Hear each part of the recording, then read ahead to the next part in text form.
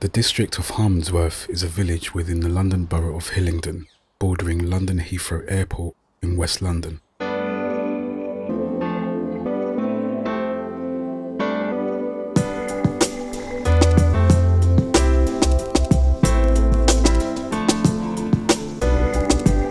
Harmondsworth is an ancient parish which used to have the nearby hamlets of Longford and Sipson inside it, as well as Heathrow itself, which is looking to increase its legroom shortly.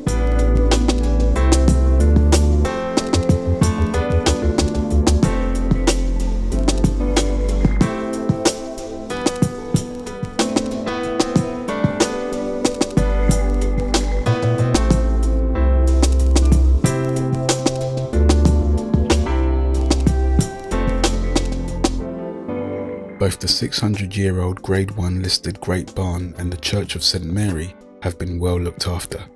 The original runway plans did away with these two as well until campaigners put their foot down and said they went too far.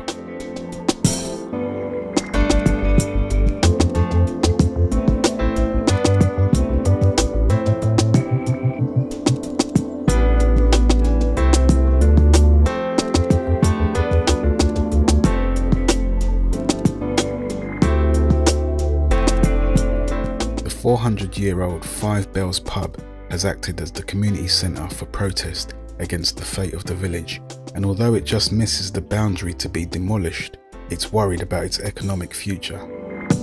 In 2016, the government switcherooed on its vow against the third Heathrow Airport runway. This means wiping away half of Harmondsworth village, including listed buildings, to make way for it. The 10,000 plus potentially homeless residents are being offered 125% of the market value for their homes, but many feel this is useless up against sentimental value and are extremely upset. Others have now just accepted defeat simply out of exhaustion for fighting and are preparing for the forced life changes.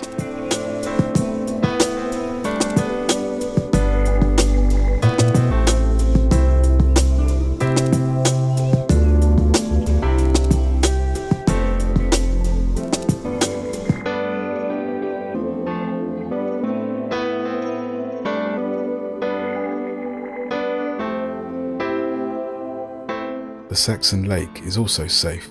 It provides some nice scenery and is almost a mile in length, plus the water is fairly clear.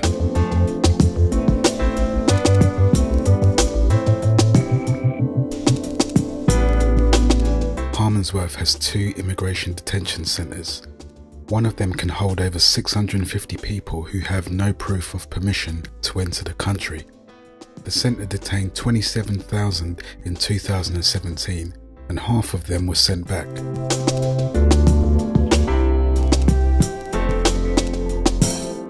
If you read a Penguin book published before 1990, this little village is where it would have been manufactured.